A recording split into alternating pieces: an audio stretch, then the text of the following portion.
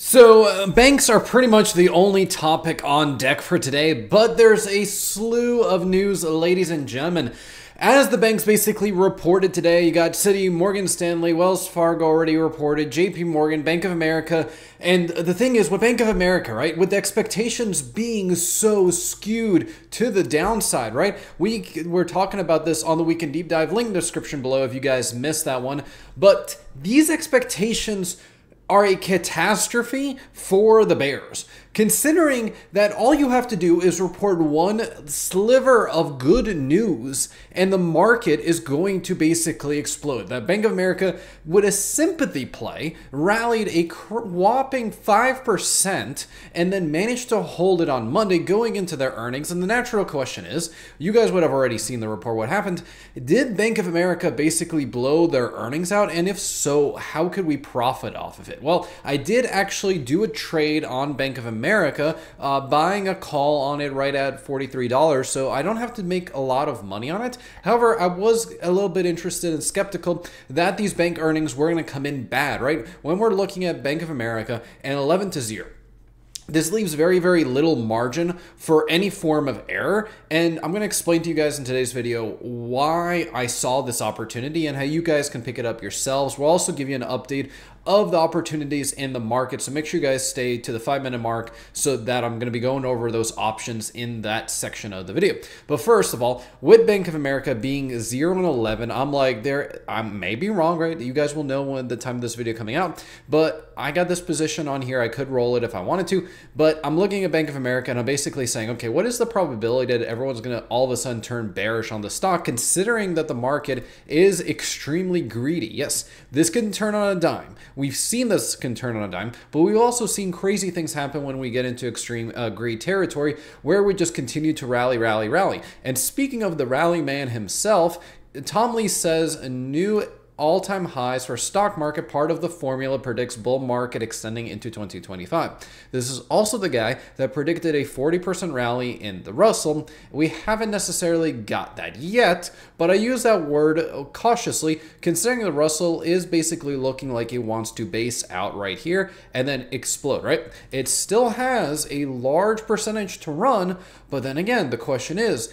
how are Fed rate cuts going to be interpreted by the market? Is earnings going to kick off something massive? And remember, we got Netflix earnings coming up as well, and they're expected to be 29 to 2. They're setting up expectations to be below out earnings, and if the banks come in anywhere remotely warmer than a cold corpse, then they're going to rally, right? We can actually go to Citi, right? Citi was the other one that everyone was saying, hey, this is going to be bearish or looking like it's bearish. But again, I say when I have 1 to 12, you have to come you, any sort of warm expectations is going to result in a bullish reaction in it. And that is why I'm playing bullish. I'm playing the contrarian because apparently being bullish contrarian in this market is the highest profitability possible, right? As we go into this crazy earnings season, which we got Netflix on Thursday, we're gonna be streaming that, and we're also gonna be streaming the bank earnings tonight, UNH as well. So you know, my partner loves his UNH, so make sure you guys drop by the stream today, 7 p.m. Eastern. So make sure you guys check that out. And also, what remains extremely, extremely strong is the Fed expectations for a cut of 25 basis points in November. There's no data swaying it. There's not really any economical data that's coming out this week that's going to basically skew the markets in any way, shape, or form, right? If we just go to this week, we got Empire State Manufacturing that comes out today at 8.30. It would already been out. You already seen the reactions to the markets, but I think bank earnings are going to steal the show. Subsequently, on Wednesday, there's not much. We got some job numbers and retail sales on Thursday. But remember, that's Netflix earnings day our post market. So everyone's going to be focused on Netflix. Everyone's going to be thinking that bullish mentality, especially if we're still in extreme greed going into bank earnings, right? Or sorry, Netflix earnings. And then subsequently, Friday, we got some housing data. We'll keep you guys updated of the housing data as promised. As always, I will let you know if there's any signs of housing crash. But as far as we can see now, it's just standard seasonality. There is no true evidence of housing degradation in the broader markets. And subsequently, the markets basically said time to rally, right? I said on the weekend deep dive, again, link description below if you guys want to check that out, ex- explaining how we got these levels, what they are, how they are, how to play them. I went over that and I'll go over and how to play it in just a moment here of what options I'm going to be looking at to play on the market and the strategy to make the most amount of money for this with the the market basically gave you a freebie now. You can open your account today and basically just play these options and know if you're going to be bullish or bearish, right? The continuation of the bank earnings, if that continues, that's green light number one to be going. Now, if bank earnings come in horrible, then we wait to Netflix, right? We wait to see how the market reacts. But subsequently, the 580 break is a strong break for the S&P and also the Nasdaq. I said Nasdaq was going to give you direction in the markets this week because you have to get we were kind of holding at that 494 or 47 number and we just gap and go. We did not fill the gap. We did not fill the gap on the S&P either, so we leave a gap. Now, subsequently, if we leave a gap over the next 2 days, that is when things get really really excited because in the subsequent 2 days, that means that we're going to get rally paradigm, right? Could we get to 600 by end of year on the SPY? That is the natural question that we're to be trying to answer. And let's dive into some of the option chains that we can play along with basically the strategy that we need to employ for that. But the first thing we need to pay attention to is the VIX. The VIX is going to tell you where you need to be buy side or sell side of the market.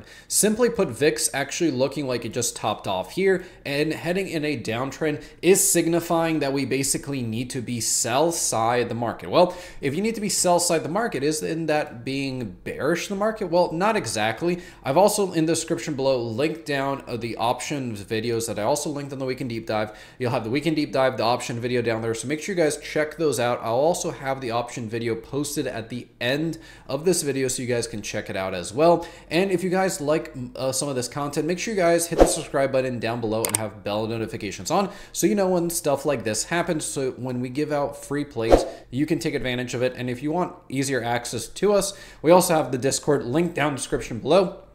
So you can check out, uh, message us on Discord, interact with everyone. It's really, really fun. So make sure you guys check that. It only means a click for you and to gain massive amount of knowledge. But enough rambling about the VIX and about the Discord. Let's talk about the S&P. What is the strategy to employ for the S&P? Simply put, 580. If you close below 580, then these options you need to close. And if you're above 580 or coming anywhere close to it, load up on more, and basically uh, position size accordingly. So, right, 5% maximum positioning per. Uh, symbol and then a, or underlying and then basically you're you're golden right so let's jump over to the trade and see what we got so i've already got pre-selected a couple options here for the s&p i personally like to go out 46 days. That is where I like to find manage at 21, right? So that's 20 days of holding. Why is that important? Because then we'll go won't go past the election, right? We'll we'll kind of close our position and manage it prior to Powell's craziness, prior to the Fed, prior to the election.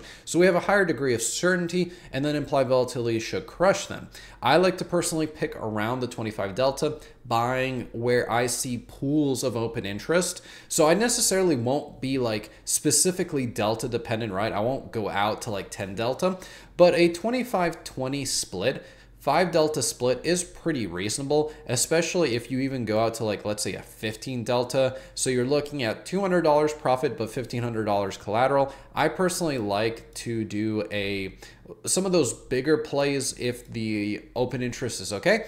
But personally, seeing $100 for $600 risk, you know, you could double that to get similar profit to what we just mentioned, and it's easier to manage, right? And essentially, looking at this, you got a pretty decent spread, about $10 wide, about 5 delta. So you're you're sitting in an area that's not likely to hit, especially with VIX contraction because we have an implied volatility expansion recently. That is going to contract, and thus we really don't care for much of that. Now, let's jump over to the NASDAQ real quick, and you guys can see the same exact mentality of how we can put this trade together. So, again, uh, uh, 46 days, I just simply come down on Tasty Trade. I'll have them linked in the description below with the referral code if you guys want to check them out. But essentially, same thing, right? I'm looking for that 25 delta area. Right here, I got $198 in um, open interest or sorry, 198 contracts open interest. So I'm basically going to sell at that 475, and then I'm going to be looking. Okay, I see uh, about this is a $25 wide, but I'm, I don't want to go that wide necessarily. So I'm going to go down and buy the 465, right? $167 premium versus $833 collateral. I really don't see anything that I necessarily want to move in this range. I want to keep it about $10 wide, similar to the S&P, and this is a good starting point for the Nasdaq as we set up for greater profit opportunities. And simply put it, if the market decides to go the other way, we can close the position on the Nasdaq the same way we can close the position on the S&P for a slight or maybe not even a loss considering theta is your friend. Again, closing below 494.47, that would be bearish on the Nasdaq, on the S&P, and then subsequently with the bank earnings already occurring, you guys will know is this rally going to continue? Is the sentiment going to continue? Is the fear and greed going to continue? So make sure you guys check out the option video to the left over here so you know exactly how to play this. I go through a back test system on Tasty Trade to show you that you can actually make 5% more than the standard market returns just by doing these options that only take about 10 minutes to do on a daily basis. You're not sitting in front of the screen managing your portfolio like a crazy person. But if you guys want to know more, Discord, link in the description below. Make sure you guys follow us on X. And thank you again so much for watching. And I hope to see you in the live stream tonight at 7 p.m. Eastern.